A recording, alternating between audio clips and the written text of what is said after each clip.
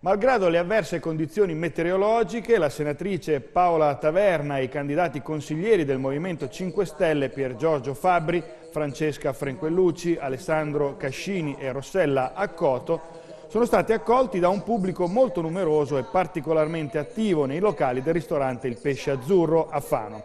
I portavoce a tutti i livelli del movimento hanno precisato che non sono a caccia di poltrone, ma vogliono lavorare per impostare le corrette politiche atte alla ripresa economica e alla riorganizzazione dei servizi indispensabili per tornare ad avere una vita sociale che rispetti la dignità di ognuno e che faccia di tutti dei cittadini e non dei sudditi.